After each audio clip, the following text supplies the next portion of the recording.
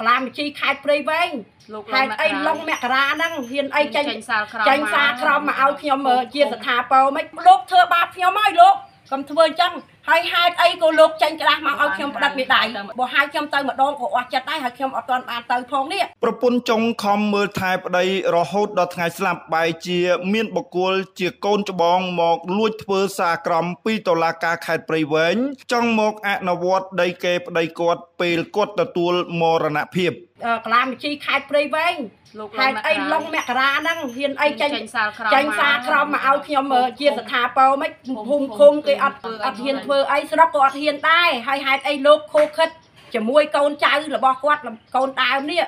មកធ្វើបាបខ្ញុំនេះនេះឈ្មោះបាសុកជាតិហើយនឹងបាច្រែកនេះ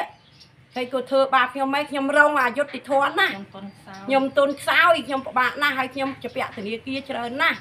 ដីនឹងពីរលក់ពីរក៏សងមិនរួចដែរហើយហេតុអីធ្វើអញ្ចឹងលោកធ្វើបាបខ្ញុំហើយលោកកុំធ្វើអញ្ចឹងហើយហេតុអីក៏លោកចេញក្រាស់មកឲ្យខ្ញុំផ្ដិតមេដៃបើហៅខ្ញុំទៅម្ដងក៏អស់ចិត្តដែរហើយខ្ញុំអត់ទាន់បានទៅផងនេះហើយហេតុអីធ្វើអញ្ចឹងជាប្រជាជននេះរងគ្រោះនេះហើយខ្ញុំការពេញច្បាប់ណា មិនមែននេះទេហើយខ្ញុំមានប្លង់ហ្នឹងក៏ឈ្មោះប្តីខ្ញុំហើយខ្ញុំទេគាត់លែងលះគ្នាឡើងដល់តឡាការអស់ហើយដាច់ស្រេចអស់ហើយចែកទ្រព្យសម្បត្តិអស់ហើយហេតុអីកូនហ្នឹងកូនដើមហ្នឹងមកទៀមទាស្ថិតនៅភូមិប្រាសាទកើតឃុំបន្លិចប្រាសាទស្រុកពីមរខេត្តព្រៃវែងស្ត្រីម្នាក់បានប្រាប់សារព័ត៌មាន TNM ឲ្យដឹងថាប្តីរបស់គាត់ធ្លាប់មានគ្រួសារមុន មានកូនចំនួន5នាក់ហើយបានលែងលះគ្នាព្រមព្រៀងគ្នាបែងចែកទ្រព្យសម្បត្តិទទួលរៀងៗខ្លួន ក្នុងនោះមួយចំណែកនៃទ្រព្យបន្ទាប់ពីបែងចែកលោកជូហៃដែលត្រូវជាប្តីបានរៀបការនឹងគ្នាជាមួយលោកស្រីខំឡំហើយរួមរស់ជាមួយគ្នាជាប្តីប្រពន្ធថ្ងៃមួយប្តី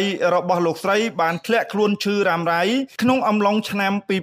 2019មានការឯកភាពគ្នាជាមួយប្តីក៏បានយកប្លង់ដីរបស់ប្តីឈ្មោះជូហៃយកទៅដាក់ធនាគារឯកជនមួយជាទ្រព្យដែលមានឈ្មោះជូហៃស្រាប់ រហូតដល់ធនាគារនោះ ក៏បានសិក្សាច្បាស់លាស់ដែរមុននឹងសម្រេចឲ្យប្រាក់កម្ចីនោះ ដោយស្របច្បាប់ហើយលោកស្រីខំឡំជាប្រពន្ធបានប្រាក់មកពីកម្ចីធនាគារនោះត្រូវយកមកមើលថែជំងឺប្តីផង ហើយខិតខំរកស៊ីដើម្បីសងធនាគារប្រចាំខែផង ដោយមិនអាក់ខានមិនយូរប៉ុន្មានប្តីរបស់លោកស្រីក៏បានទទួលមរណភាពដោយរោគាពៀតនៅថ្ងៃទី16ខែតុលាឆ្នាំ2022ធ្វើឲ្យលោកស្រីខំឡំคล้ายទៅជាស្ត្រីមេម៉ាយហើយជាអ្នកទទួលបន្ទុកធំដើម្បីបង់ធនាគារជារៀងរាល់ខែ លោកស្រីខំឡំបានបន្តទៀតថា មិនយូរប៉ុន្មានផង បន្ទាប់ពីប្តីរបស់លោកស្រីទទួលមរណភាព ស្រាប់តែលេចឮដំណឹងថាមានឈ្មោះវ៉ាជ្រៃជាកូនទី1របស់លោកជូហៃខិតខំរត់ឯកសារមិនប្រក្រតីទៅភូមិឃុំស្រុកដើម្បីទទួលស្គាល់តែត្រូវបានអាជ្ញាធរមូលដ្ឋាន នមិនអនុញ្ញាតមិនព្រមព្រៀងធ្វើអ្វីៗទាំងអស់ទៅតាមការសំណូមពររបស់បុគ្គលឈ្មោះវ៉ាជ្រៃតាំងពីពេលនោះមក ស្រាប់តែថ្មីថ្មីនេះក្នុងអំឡុងខែមិនិនាឆ្នាំ2024នេះមានខាងតុលាការខេត្តព្រៃវែងប្រគល់សារក្រមដោយទទួលស្គាល់ដឹងឮរឿងដីមួយកន្លែង ដែលជាទ្រព្យគេរបស់ប្តីគាត់ដែល បានដាក់ធនាគារនោះ ទៅជាម្ចាស់កម្មសិទ្ធិរបស់កូនទី1ឈ្មោះវ៉ាជ្រៃទៅវិញ ដោយតុលាការមិនបានសាកសួរនាំអំពីដំណើររឿងពិតអ្វីទាំងអស់លោកស្រីខំឡំថាគាត់ពិតជាមិនយល់ពីប្រព័ន្ធច្បាប់ស្រុកខ្មែរទាល់តែសោះ សំណួរគ្មានចម្លើយ1តើអាជ្ញាធរមូលដ្ឋានចេះតែនិយាយឬក៏អាចមានការភ័ន្តច្រឡំណាមួយ ដែលធ្វើឲ្យតុលាការមានការសម្រេចចិត្តបែបនេះពីរបើពិតមែននោះតាមអាជ្ញាធរមូលដ្ឋាន មិនទទួលស្គាល់ជាទ្រព្យរបស់វាជ្រៃតើតុលាការមានសិទ្ធិណាមួយ អាចអនុម័តដោយមិនសួរប្រពន្ធរបស់លោកជូហៃបីតើទ្របដែលលោកជូហៃបានមកពីការលែងលះគ្នា ជាមួយប្រពន្ធដើម មករស់នៅជាមួយប្រពន្ធចុងរហូតដល់ស្លាប់នោះ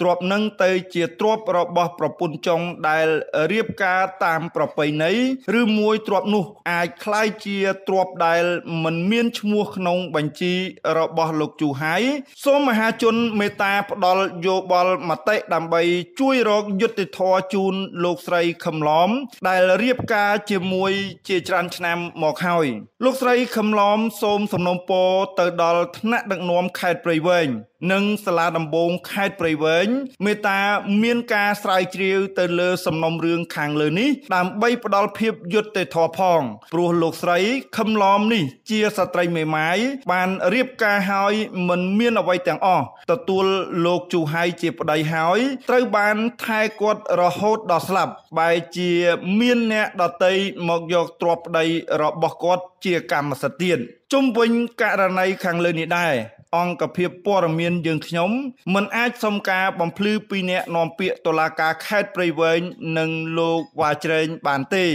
អង្គភាពព័ត៌មានយើងខ្ញុំគ្រាន់តែចង់ផ្សព្វផ្សាយព័ត៌មានពិតដោយមិនសំដៅធ្វើការរិះគន់បុគ្គលឬស្ថាប័នពាក់ព័ន្ធចំពោះការធ្វើប្រហែសលើការវិតម្លៃគុណសម្បត្តិរបស់មន្ត្រីជាសមត្ថកិច្ចណាមួយឡើយហើយក៏មិនអាចកាត់សេចក្តីថាករណីខាងលើនេះ វាទៅជាយ៉ាងណាដែរប៉ុន្តែប្រសិនបើមានជាប់ពាក់ព័ន្ធក្នុងសកម្មភាពពុករលួយ ឬការប្រព្រឹត្តមិនត្រឹមត្រូវក្នុងប្រតិបត្តិការខាងលើពិតមែនស្ថាប័នពាក់ព័ន្ធគួរតែពិនិត្យពិចារណាឡើងវិញ និងស៊ើបអង្កេតស្រាវជ្រាវឲ្យបានច្បាស់លាស់ដើម្បីយកមកអនុវត្តតាមច្បាប់នៃព្រះរាជាណាចក្រកម្ពុជា អង្គភាពយើងខ្ញុំរងចាំទទួលដោយរីករាយបើមានការផ្សាយទៅមិនគ្រប់ជ្រុងណាមួយ សូមមកកាន់និពន្ធយុ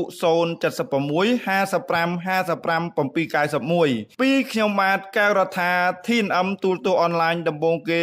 នៅកម្ពុជារាយការណ៍ពិសេសពីស្រុកពីមរខេត្តព្រៃវែងខ្ញុំគាត់តែដឹងឮ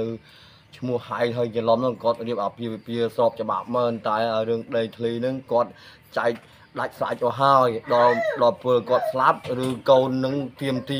គាត់ទៀតហើយកូនដើមគាត់នឹង ខ្ញុំក៏ងឿងឆ្ងល់ដែរព្រោះច្បាប់រដ្ឋធម្មនុញ្ញចែងហើយតលលាយលែងលក្ខអសរបានគេរៀបអាពាហ៍ពិពាហ៍ស្របច្បាប់តាមភូមិឃុំគេដឹងឮរហូតដល់ស្រុកខេត្តទៀតនោះ